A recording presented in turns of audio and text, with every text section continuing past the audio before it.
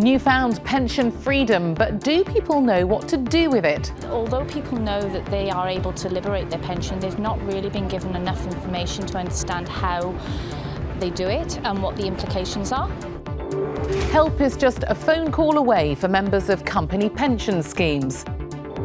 And Pensions Minister Ros Altmann explains how the new pensions reforms will affect us all.